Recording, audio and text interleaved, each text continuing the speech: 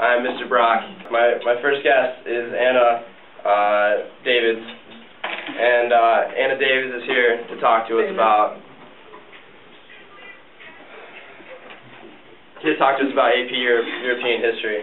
Um, so Anna, did you enjoy AP European history? I did.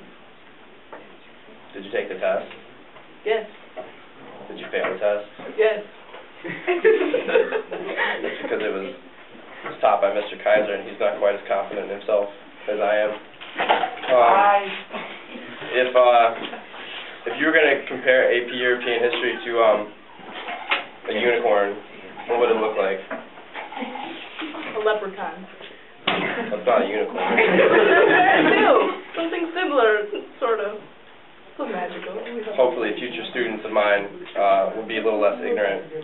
Um, Sorry, I'm ignorant. so, unicorn. Stop talking back to me. I am in charge of this interview. So, uh, you're taking my Western Civ class, and if you were going to compare Western Civ to AP European history, um, what would you say is, is similar? About history. They're both about history. Hello and welcome back to.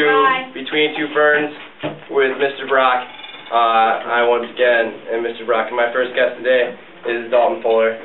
Isn't that your second? Well, Uh, it's Wilson, actually. Wilson. so, so Dalton, you also took AP European History. What? I will not take my pants off for you. Now, what was your question? It's not a requirement for the class, by the way. Mentiroso, mentiroso. if I, if I, if Sorry, I, not lying. I'm trying to do an interview.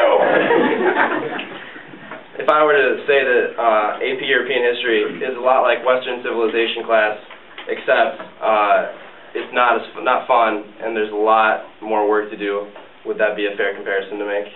No. What? European, European history was quite easy. We didn't really do much. Oh. Lies. Oh. Miss Davids, your interview is over. No, European history has its fair share of work, but it's definitely a lot. I don't appreciate your attitude. This interview is over. This interview is over.